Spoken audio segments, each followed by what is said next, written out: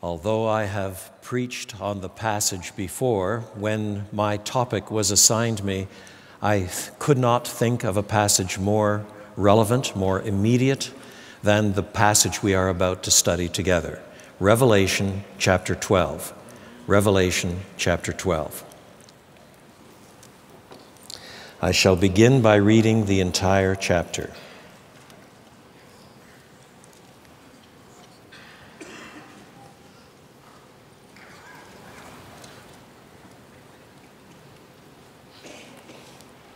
Hear then what Holy Scripture says. A great sign appeared in heaven a woman clothed with the sun, with the moon under her feet, and a crown of twelve stars on her head. She was pregnant and cried out in pain as she was about to give birth. Then another sign appeared in heaven an enormous red dragon with seven heads and ten horns and seven crowns on its heads. Its tail swept a third of the stars out of the sky and flung them to the earth. The dragon stood in front of the woman who was about to give birth, so that it might devour her child the moment he was born. She gave birth to a son, a male child who will rule all the nations with an iron scepter. And her child was snatched up to God and to his throne. The woman fled into the wilderness to a place prepared for her by God, where she might be taken care of for 1,260 days. Then war broke out in heaven. Michael and his angels fought against the dragon, and the dragon and his angels fought back but he was not strong enough, and they lost their place in heaven. The great dragon was hurled down, that ancient serpent called the devil or Satan, who leads the whole world astray. He was hurled to the earth, and his angels with him. Then I heard a loud voice in heaven say, now have come the salvation and the power and the kingdom of our God and the authority of his Messiah. For the accuser of our brothers and sisters, who accuses them before our God day and night, has been hurled down. They triumphed over him by the blood of the Lamb and by the word of their testimony. They did not love their lives so much as to shrink from death. Therefore rejoice, you heavens, and you who dwell in them. But woe to the earth and the sea because the devil has gone down to you. He is filled with fury because he knows that his time is short. When the dragon saw that he had been hurled to the earth, he pursued the woman who had given birth to the male child. The woman was given the two great wings of a great eagle so that she might fly to the place prepared for her in the wilderness where she would be taken care of for a time, times, and half a time, out of the serpent's reach. Then from his mouth the serpent spewed water like a river to overtake the woman and sweep her away with the torrent. But the earth helped the woman by opening its mouth and swallowing the river that the dragon had spewed out of his mouth. Then the dragon was enraged at the woman and went off to wage war against the rest of her offspring, those who keep God's commands and hold fast their testimony about Jesus. This is the word of the Lord. I have a son, six foot three, a bit of a bruiser but with the most remarkable deep blue eyes of anyone I know. When he was about three, I asked him one day, Nicholas, where did you get your deep blue eyes? And he said, with all the authority that only a three year old can muster, from God. Now, of course, if he'd been 20 years old and a biology student, he might have answered, Well, Although neither you nor mum has blue eyes, both of you must carry the necessary recessive gene, which in my case happily combined to form my DNA. Which answer would have been truer? Well, they're equally true. Which answer is more fundamental? Another question. What caused the destruction of the southern kingdom of Judah in 587 586 BC? Well, the rise of the Babylonian superpower, the decline and decay of the Davidic dynasty, the foolish stupidity of Hezekiah in disclosing the wealth of the realm several generations earlier to emissaries from the fledgling Babylon. The sins of the people, sins that attracted God's judgment. Or one could say, God did it. Which answer is truer? As far as I can see, they're equally true. Which is more fundamental? or run it to the realm of individual suffering. What made Job suffer? Well, the bands of Sabaeans and Chaldeans running off with his livestock and cattle, the natural elements that took down the house in which his ten children were living, killing them all, bereavement, loss of health, a nagging wife, Or you could say, the devil did it. Or you could say, God did it. Which answer is truer?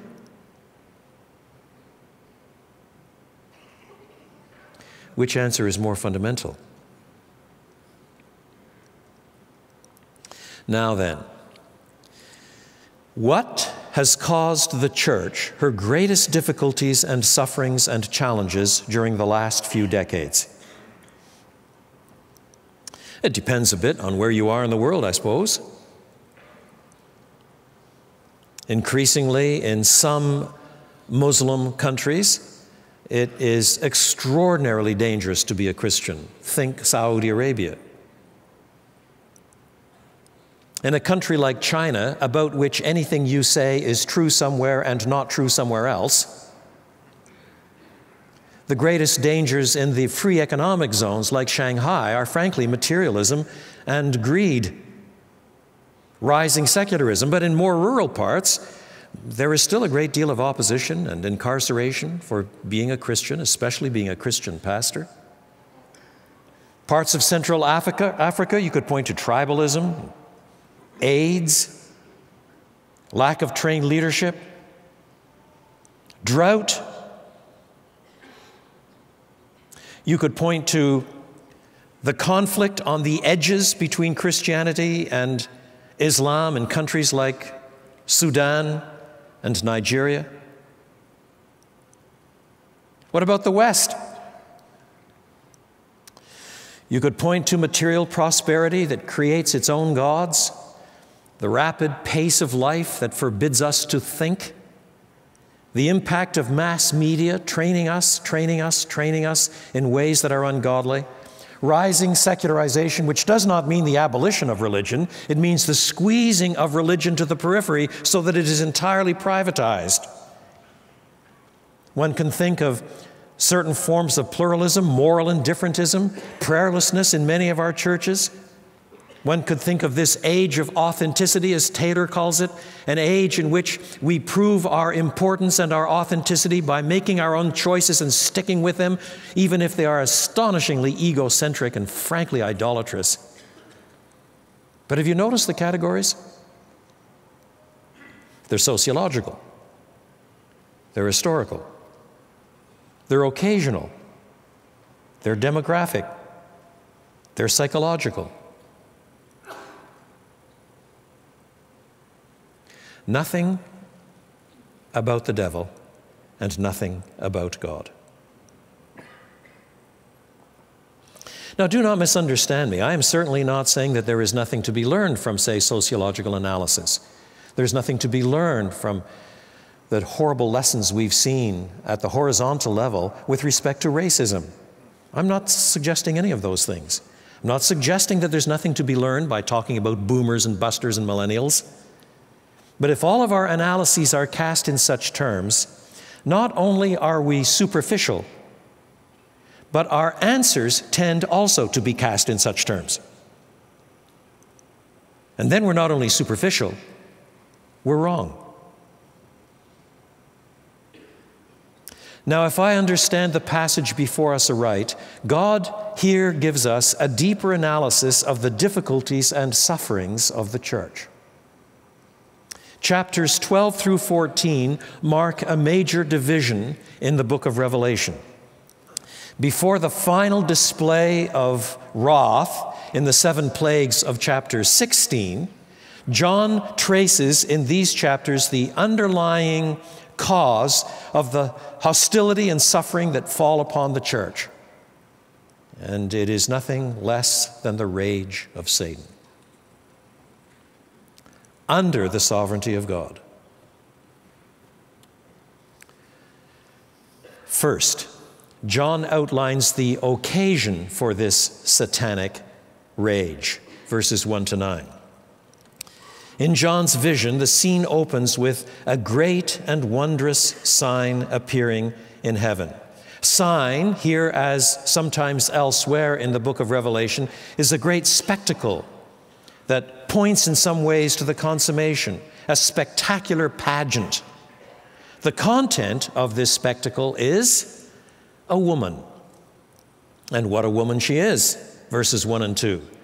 A woman clothed with the sun with the moon under her feet and a crown of 12 stars on her head, and she is pregnant, crying out in pain as she is about to give birth. Many have argued that this is Mary, since, after all, she gives birth to a son, in verse 5, a male child who will rule all the nations with an iron scepter. But that identification is not right.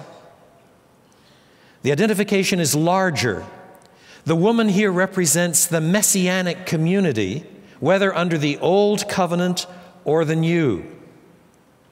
For just as Zion in the Old Testament, Jerusalem is the mother of the people, so in the New Testament, the heavenly Jerusalem is the mother of God's new covenant people. So, for example, in a passage that is full of talk about the future glory of Zion, we read in Isaiah 54 Sing, barren woman, you who never bore a child, burst into song, shout for joy, and so forth. And in Galatians 4:26, on the new covenant side, the Jerusalem that is above is free, and she is our mother. And that is confirmed, of course, by verse 17 in this chapter. The dragon was enraged at the woman and went off to wage war against the rest of her offspring, those who keep God's commands and hold fast their testimony about Jesus, or as we'd put it, Christians. So this is more than Mary. Mary is merely the outworking in one particular individual of the glorious truth that the Messiah comes from the messianic community. She is clothed with the sun, utterly radiant.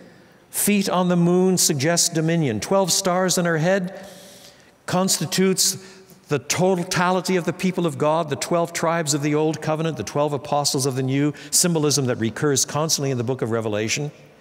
And she is pregnant in verse 2. In travail.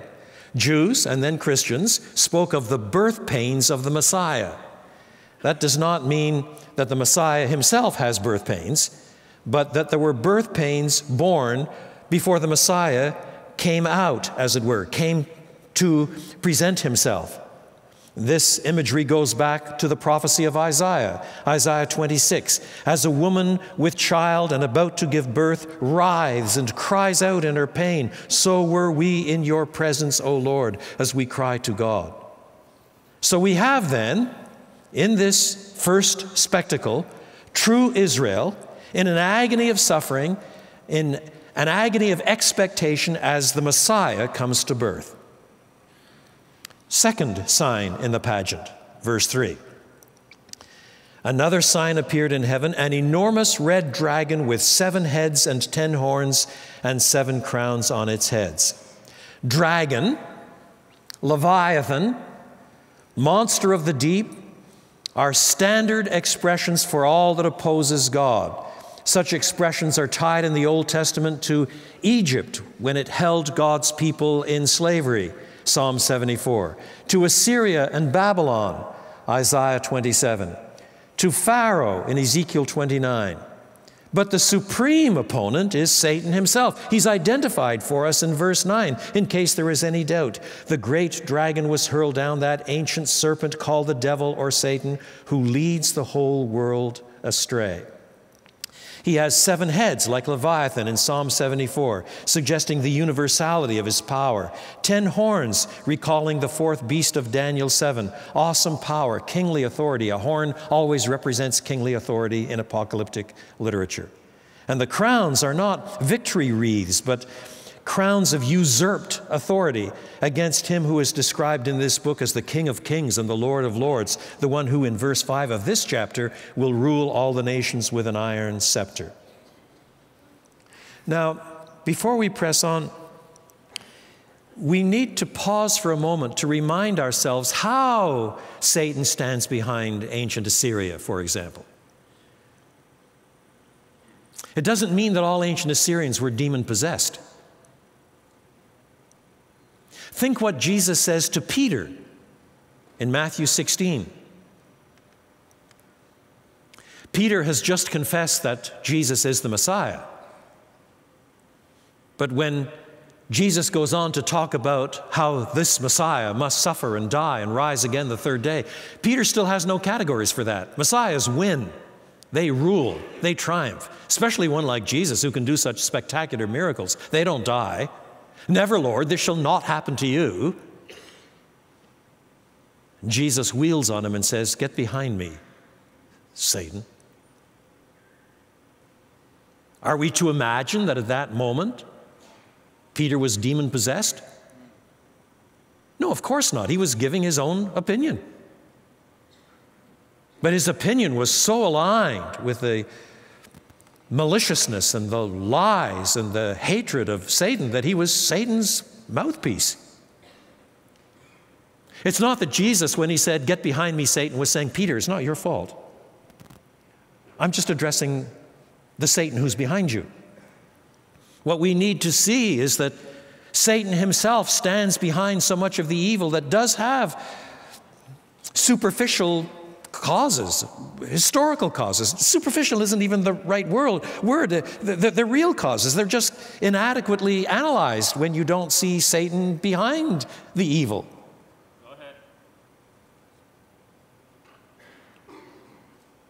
So, those are the two signs. And then the drama begins to unfold. Verses 4 to 6.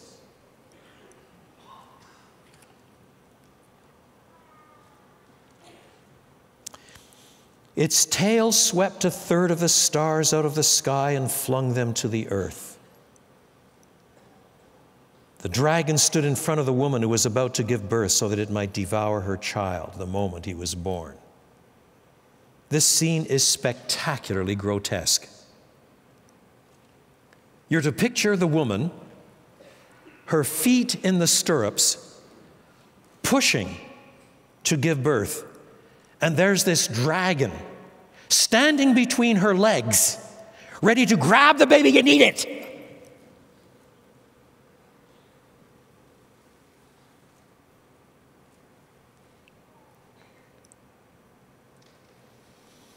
And the historical reality which this symbolism depicts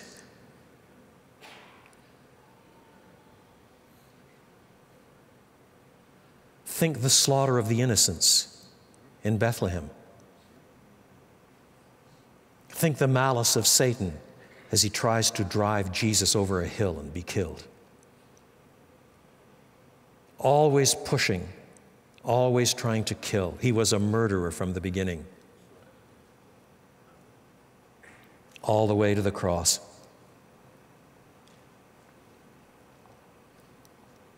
The sweeping of one third of the stars out of the sky is part of pretty common nature symbolism in Scripture. When things are going well, the hills clap their hands, the trees dance for joy, or the other way around. And when things are going disastrously or when wickedness seems to be triumphing, then stars fall from the heaven. This is not a statement about astronomy. It's a symbol laden way of showing that the good or the evil are both cosmic in their sweep. And in this particular case, the imagery is drawn right from the prophecy of Daniel, chapter 8, verses 9 and 10. Out of one of them, that is one of the horns just mentioned in the previous verses, came another horn which started small but grew in power to the south and to the east and toward the beautiful land. It grew until it reached the host of the heavens and it threw some of the starry host down to the earth and trampled on them. Close study of Daniel 8 shows that this is referring to Antiochus IV Epiphanes and it's worth mentioning that, not because of its historical detail, but because that set the stage for, sets the stage for something else that's going to show up in this passage in a few moments. So the child is spared the dragon. She gave birth to a son, this woman, a male child, who will rule all the nations with an iron scepter, and her child was snatched up to God and to his throne. So you move in this verse from Jesus' birth to his ascension in about two lines. Why? Why not linger a little more on the earthly ministry? Why not linger a little more on the cross and the resurrection? Why birth to ascension? Well, the reason is straightforward. It's because this book builds on previous visions. And before you have the vision of chapter 12, you've got the vision of chapters 4 and 5. Chapter 4 is to chapter 5 what a setting is to a drama. In chapter 4, the setting is the throne room of God.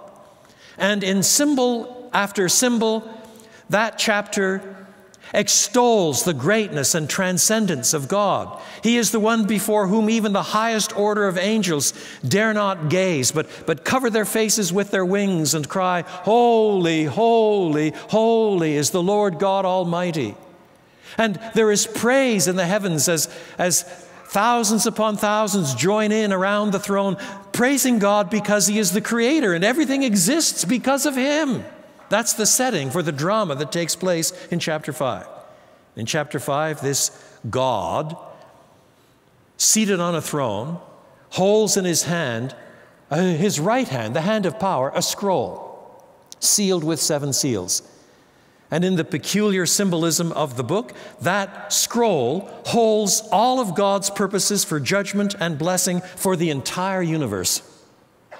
And the symbolism dictates that unless those seals are slit, what is decreed in the scroll will not be enacted.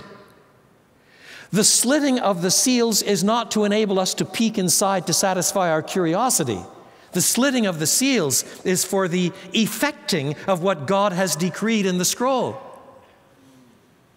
And so a voice a powerful voice from a powerful angel challenges the whole universe. Who is worthy to approach this God, to take the scroll from his hand, to break the seals?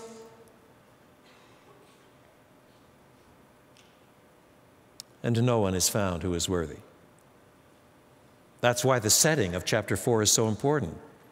If the highest order of angels, untainted by sin, dare not gaze on this God, we're going to saunter into his presence and say, Oh, I'll have a go. Here am I, send me.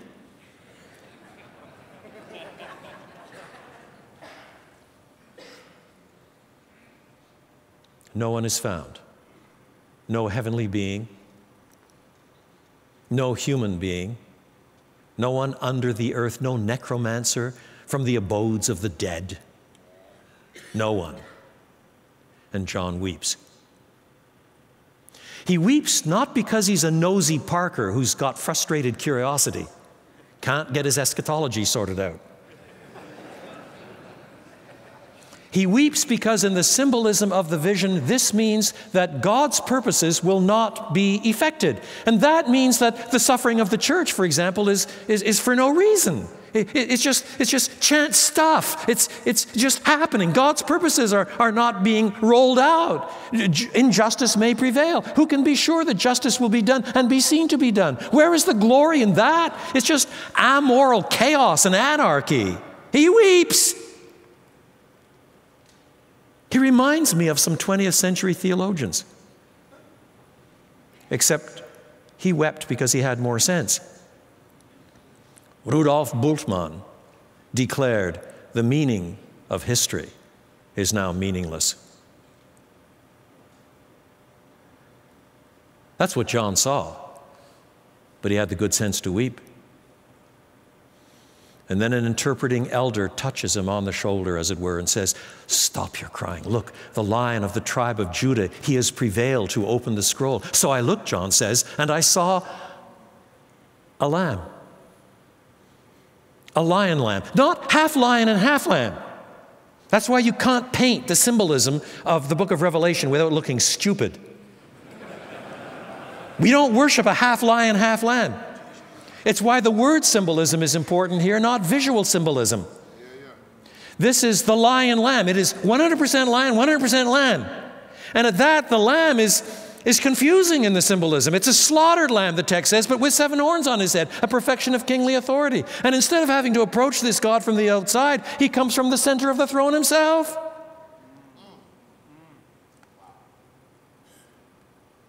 And then it is declared Take down your harps, sing songs of joy, break out in praise, for the Lamb has prevailed to open the scroll and bring about all of God's saving purposes, redeeming men and women from every tongue and tribe and people and nation. And the whole universe breaks out in applause and adoration before not only Him who has created all things, but before him who sits on the throne and the Lamb. Now, all that's presupposed before you get to this chapter. You got to squeeze it in the middle of verse 5. John's not reviewing it, he's presupposing it.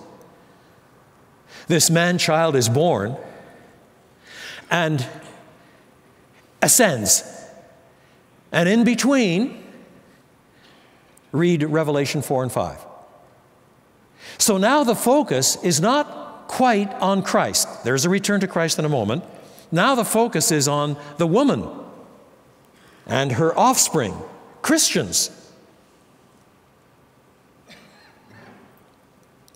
There are two elements of symbolism here that we should pause to unpack.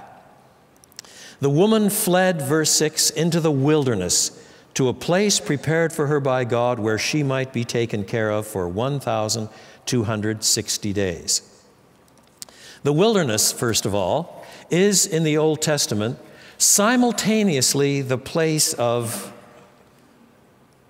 parched ground, of challenge, of difficulty before getting into the promised land.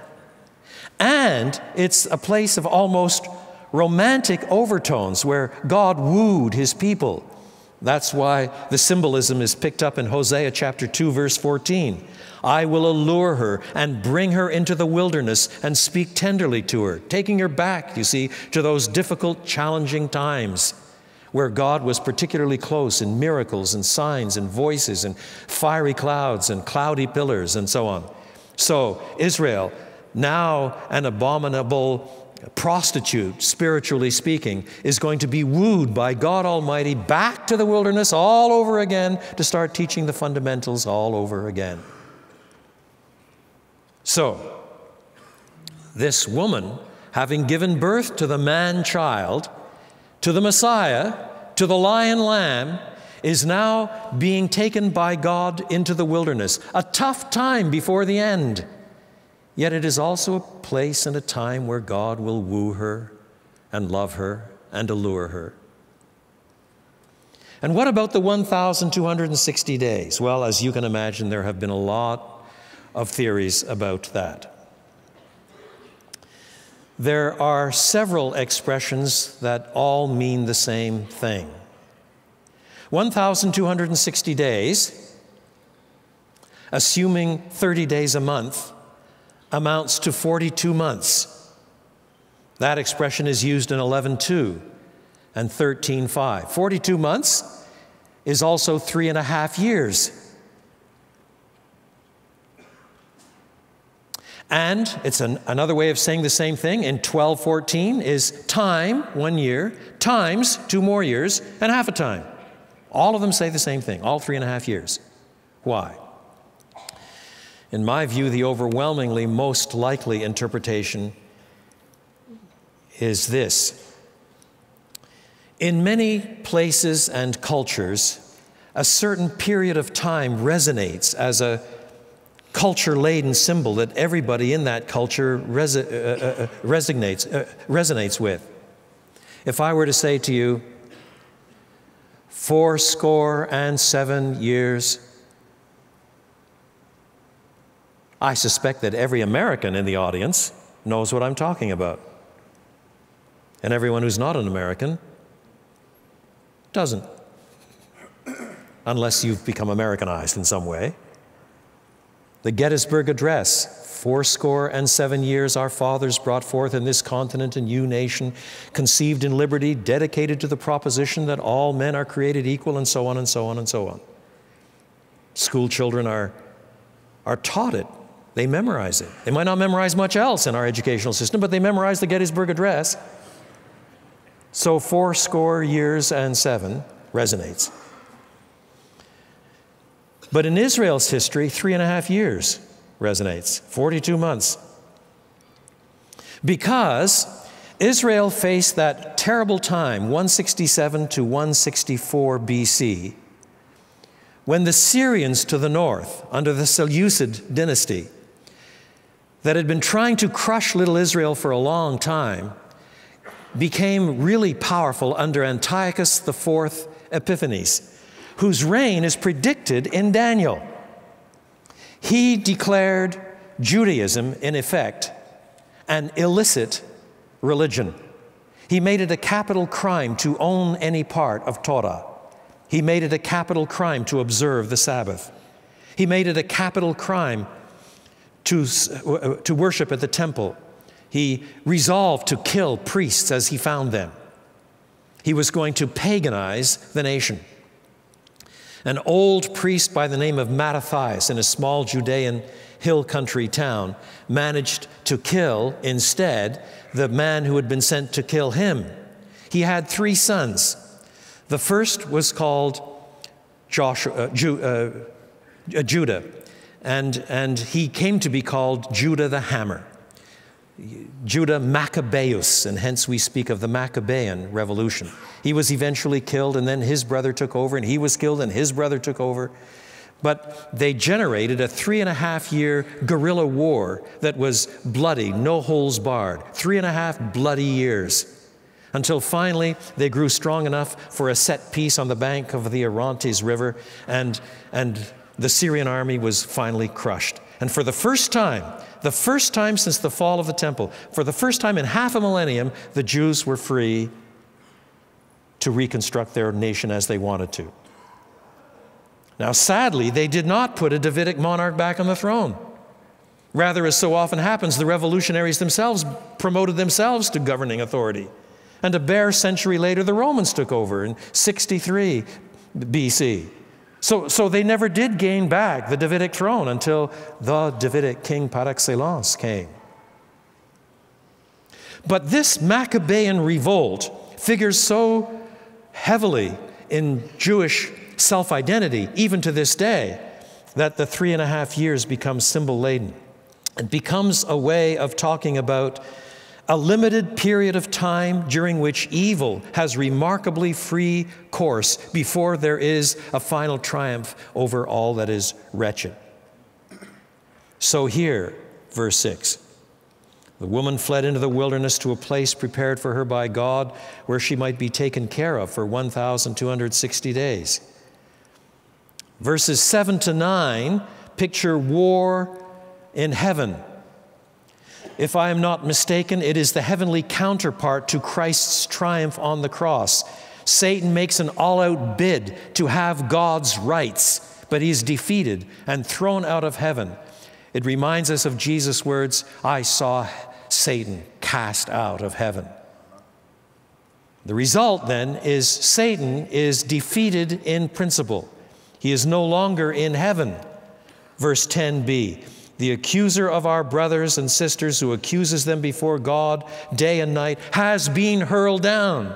Verse 12, therefore rejoice, you heavens, and you who dwell in them. But woe to the earth and the sea because the devil has gone down to you. He is filled with fury because he knows that his time is short. So, what we have in the first place is this John outlines the occasion for this satanic rage. Second, John identifies the reasons for this satanic rage. There are three. Number one, Satan knows his time is short. Number two, Satan's sphere is restricted. Number three, Satan's success is limited. Let's deal with all three. Satan knows his time is short. That's what the text explicitly says verse 12. He is filled with fury because he knows that his time is short.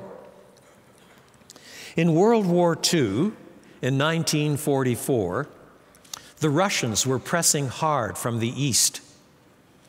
The Western allies had cleared out North Africa and were pushing up the boot of Italy. And then came Normandy, and in three days, 1.1 million men and tons and tons of tons of war materiel landed on the beaches and began to make their way in bloody warfare, hedge by hedge, row by row, into the heart of Europe. Now, anybody with half a brain in his head should be able to see that the war was over.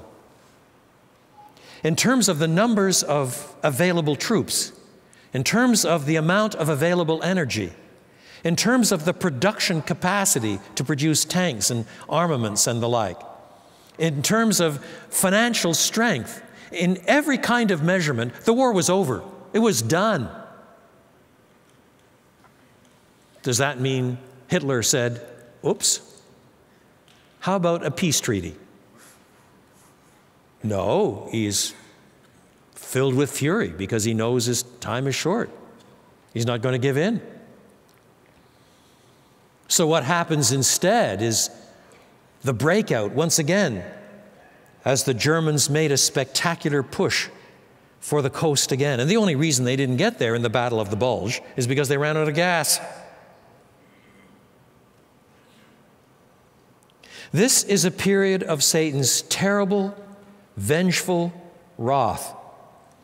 If he ever had delusions that he could somehow displace God, if he had temptations to think himself able somehow to displace God, or at least to be on a par with him, now he is defeated in principle. He knows he's done. But does he say, Oops, I'm so sorry, I repent? Could we have another go at this? Rather, he is filled with fury because he knows his time is short. What this means is that as you and I contemplate Satan's wrath working out in vituperation against the gospel and Christ's people, we must constantly remember that this rage is directed at us not because Satan might win but precisely because he's lost. He's done. It's a mop up operation. But like many mop up operations in military worlds, that fighting can be the bloodiest of all. So, he knows his time is short. He knows his sphere is restricted. 12a. Rejoice, you heavens, and you who dwell in them, but woe to the earth and the sea because the devil has gone down to you. He's lost this cosmic dimension, this, this sweeping ability to enter into God's presence with the other angels in Job chapter 1, for example. He is, he is banished, he is, he's done, he's, he's defeated, he's got no claim. When the dragon saw, verse 13, that he had been hurled to the earth, he pursued the woman who had given birth to the male child. In other words, all of his vituperation is precisely not only because his time is short, but because his sphere is restricted. And in that sphere, we're in the war zone. And he is, dare I say it, mad as hell. Yes, sir.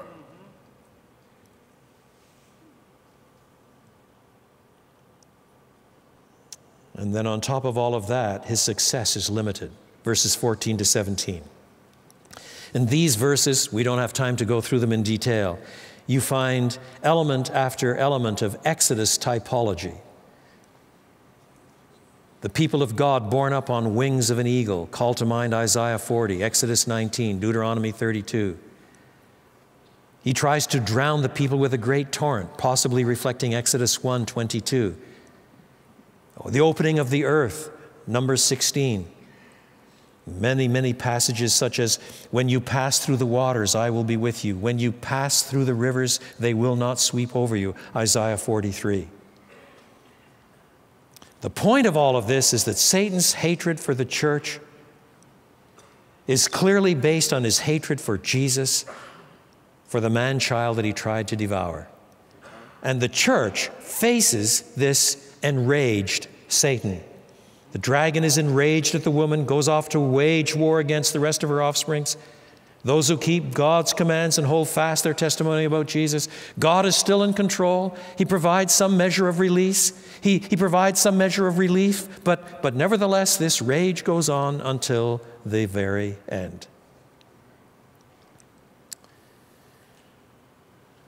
When the wall came down in Berlin in 1989, it was not long before the pundits were talking about what the future would bring. In 1992 or 1993, Fukuyama came out with a book called The End of History. He didn't mean that history was really ending. He meant that history as we know it was really ending. History as we know it, bound up with major conflict and, and superpowers at odds and, and, and so forth. He thought that with the coming down of the wall and the fall of communism, there would be a period of a few hundred years. He suggested 300 years when there would be regional skirmishes and the like.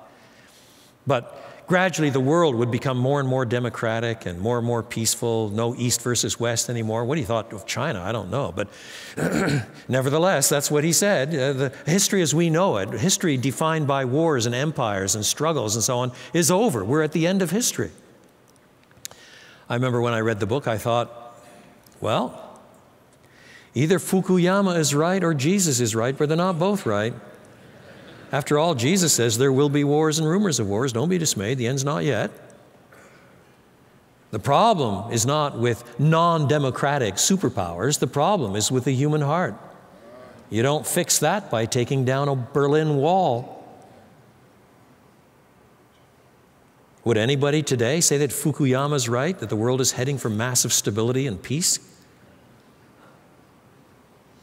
In fact, that forces us to remember some of the parables of Jesus. Think of the parable of the wheat and the weeds. The master forbids his workers from going in and trying to pull out the weeds early. Let both grow until the end, he says. Let both grow until the end. And then there is a final separation. So, whereas I claim no prophetic expertise, I'm quite prepared to tell you what's going to happen. Both will grow until the end. Jesus said so. So we will see times of revival and reformation and growth and thousands, hundreds of thousands, millions being swept into the kingdom, as is happening in many parts of the world today. And we will see weeds growing and, and disaster and judgment and, and, and sorrow and war and bloodshed. And the end is not yet. Both will grow until the end. Don't you see? So I fully expect greater revival than we've ever seen yet. I fully expect greater war than we've ever seen yet. We've just come through the bloodiest century in human history. And for the life of me, I can't think of a single biblical theological reason why we shouldn't have a bloodier century this one. It might not be, but it shouldn't be surprising if it is. Let both grow until the end. We face a Satan who is full of fury because he knows his time is short and his sphere is limited and his success isn't all that wonderful either. And at last, I come to the main point. John specifies how Christians overcome this satanic rage. John specifies how Christians overcome this satanic rage. Verse 10 Now have come the salvation and the power and the kingdom of our God and the authority of his Messiah. For the accuser of our brothers and sisters who accuses them before our God day and night has been hurled down. They triumphed over him, number one, by the blood of the Lamb. Number two, by the word of their testimony. Number three, because they did not love their lives so much as to shrink from death. So they overcome him by the blood of the Lamb. The great redemptive act that freed them from their sins, which is the way the book of Revelation opens up in chapter 1, verse 5, establishes their right to reign with Christ, chapter 5, verse 9. The kingdom has come. It's dawning in even now, waiting for the consummation when the kingdoms of this world and uh, uh, become the, the kingdoms of our Lord and of his Christ, and he shall reign forever. This picture of the accuser of our brothers, it's awful. What we're to think of is something like this Satan saying to God, as he says, in effect, with respect to Job, you think that that particular Christian is so faithful? You have no idea how weak he is, God. That, that, that John Piper, that Don Carson, they've got hearts that are steeped in unbelief. And you call them your sons? Hmm? How can you, in your holiness, pretend to maintain your holiness and have dealings with people as disgusting as that?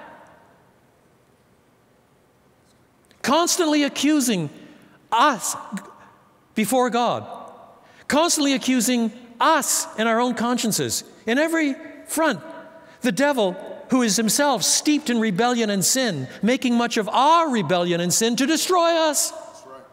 And to call God down for not being as holy as God claims to be. He's the accuser of the brothers.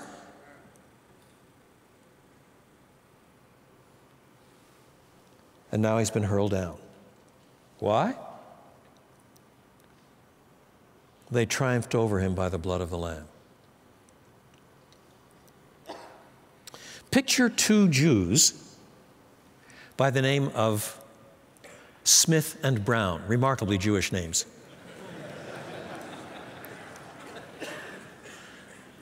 the day before the first Passover, having a little discussion in the land of Goshen. And Smith says to Brown, Boy, are you a little nervous about what's going to happen tonight? Brown says, Well, God told us what to do through his servant Moses. You don't have to be nervous. Haven't you slaughtered the, the lamb and daubed the two doorposts with blood, put blood on the lintel? Haven't you, you done that? You're all ready and packed to go? You're going to eat the, the whole Passover meal with your family? Well, of course I've done that. If I'm not stupid. It's still pretty scary when you think of all the things that have happened around here recently, you know, flies and river turning to blood and it's pretty awful. And and and now there's a threat of the firstborn being killed, you know? It's all right for you. You got three sons. I've only got one. And I love my Charlie, and, and, and, and, and the angel of death is passing through tonight. You, you, you know, I, I know what, what God says, and I put the blood there, but but it's pretty scary. I'll be glad when this night is over. And the other one responds, Bring it on. I trust the promises of God. That night, the angel of death swept through the land. Which one lost his son?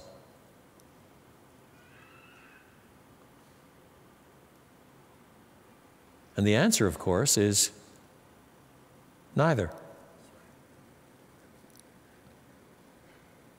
Because death doesn't pass over them on the ground of the intensity or the clarity of the faith exercised, but on the ground of the blood of the Lamb. That's what silences the accuser. The blood silences the accuser of the brothers as he accuses us before God. He silences our consciences when he accuses us directly. How many times do we writhe in agony asking if God can ever love us enough, if God can ever care for us enough after we've done such stupid, sinful, rebellious things, after being Christians for 40 years? What are you going to say? Well, you know, God, I, I tried hard, you know? I did, I did my best. It was, a, it was a bad moment. No. I have no other argument. I need no other plea. It is enough that Jesus died and that he died for me.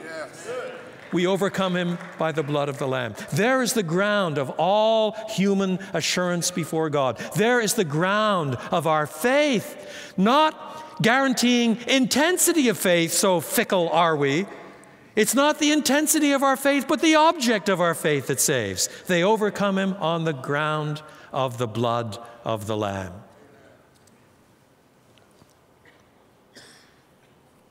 But also on account of the word of their testimony. Verse 11b. That does not simply mean they give their testimonies a lot, but it's close.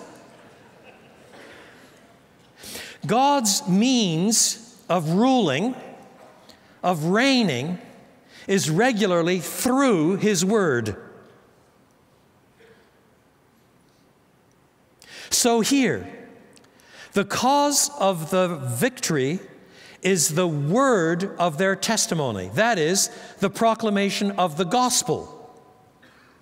By this gospel, worded out Satan is defeated. How do you defeat Satan? Send in the Marines? There's a place for the Marines. God gives the sword to the nation. My son with the blue eyes is a Marine. But the Marines have never yet been known for bringing lots of people to Christ.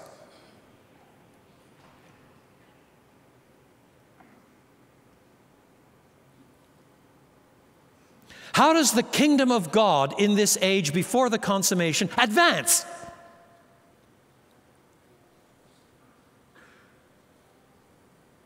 By the word of their testimony. Christians talking about the gospel. Do you want Satan to win? Shut up. Do you want Satan to lose? Talk about the gospel. It's as simple as that. We make it so complex.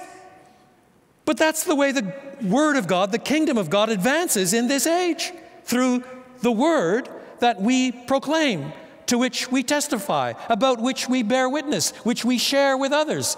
We talk about the gospel. And then, on top of that, they win by their simple willingness to die.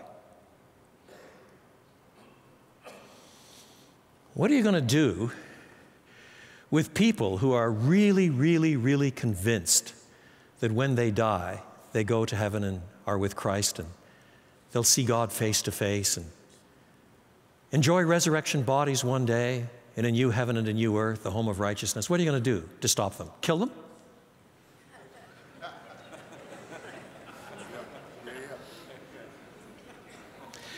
I don't want to present death in a romantic garb.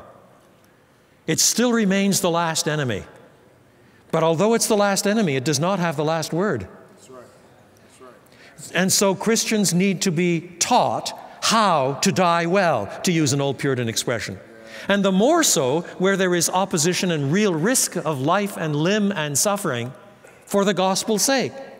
But if they are willing to die. If, as the text puts it, they do not love their lives so much as to shrink from death, what are you going to do to silence them?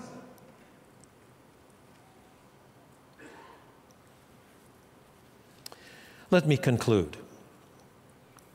There are two applications of overwhelming importance. Number one,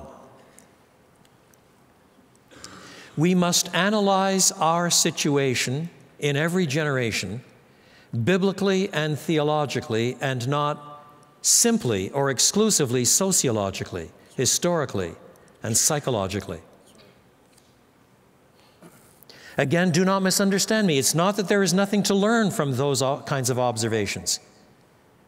But at the end of the day, we must see God at work. We must see the devil at work and understand that even our Christian witness, as we share the faith with a neighbor and talk to a Muslim about Christ Jesus and build up the saints within the context of the church, all of this struggle is within a cosmic, sweeping struggle between God and Satan, in which Satan is defeated already in principle. Yes. Luther understood that. And though this world with devils filled should threaten to undo us, we will not fear, for God has willed his truth to triumph through us. The prince of darkness grim, we tremble not for him, for lo, his doom is sure. One little word will fell him. Second, we must recognize and use our weapons, our God given effective weapons. All that are based on Christ's atoning death. All the authority based on proclaiming the Word of God. All the courage and integrity that emerge because death cannot frighten those who follow the Prince of Life. What do we have of value that has not been secured by the blood of the Lamb? Do you have forgiveness of sins? Secured by the blood of the Lamb? Do you have courage to approach a holy God? Secured by the blood of the Lamb. Do you have eternal life? Secured by the blood of the Lamb. Do you have the gift of the Spirit, the down payment of the promised inheritance? Secured by the blood of the Lamb. Do you have the fellowship of the saints? Secured by the blood of the Lamb. Do you have in prospect resurrection bodies? Secured by the blood of the Lamb. It's all secured by the blood of the Lamb. So we overcome Satan on the ground of the blood of the Lamb and we preach it. We preach it, the word of their testimony. And we think in eternal terms, not in terms of creaturely comforts here. In the words of Amy Carmichael, who served for 55 years in India, Hast thou no scar? No hidden scar on foot or side or hand. I hear thee sung as mighty in the land. I hear them hail thy light ascendant star. Hast thou no scar? Hast thou no wound? Yet I was wounded by the archers, spent. Laid me beside a tree to die, and rent by ravening wolves that compassed me. I swooned. Hast thou no wound? No wound, no scar. Yet as the master shall the servant be, and pierced are the feet that follow me, but thine are whole. Can he have traveled far who hath no wound, no scar?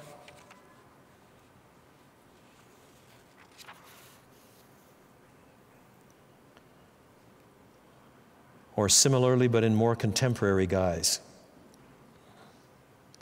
I told the folk I cherished how my sins had been forgiven, how Jesus changed my outlook, took my guilt, and gave me heaven. They thought I'd lost my senses, turned fanatic, lost my reason. They charged me with betrayal, with a vicious kind of treason, and I wondered why salvation should cause me so much pain. If they persecuted me, they will persecute you, for the slave is not above the Lord he serves, My assignment was the cross. You, my slave, will bear some loss. My disciple takes his cross and daily nerves his heart and mind to follow me.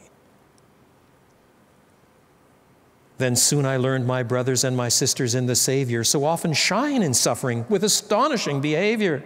Adorn the blessed gospel with forbearing perseverance. Forgive their cruel tormentors with a graceful, firm endurance. Still, I wondered why salvation should cause them so much pain. What alien perspectives I've pursued with willful blindness. For apostolic servants would rejoice at God's great kindness in reckoning them worthy to take on a little battering. They long to know Christ's power and the fellowship of suffering, for they understood their calling to trust and suffer pain.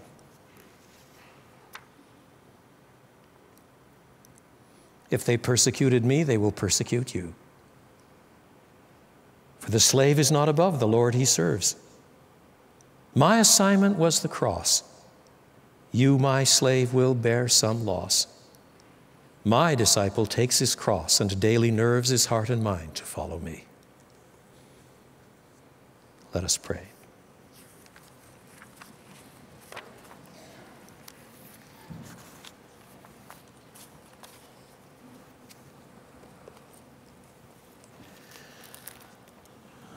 Transparently, Heavenly Father, these things are constant in Scripture. The drumbeat of Scripture tied so centrally to the cross. Yet we confess with shame how alien they seem to us in so much of our experience. Transform us by your powerful Spirit through the word, we beg of you. For Jesus' sake. Amen.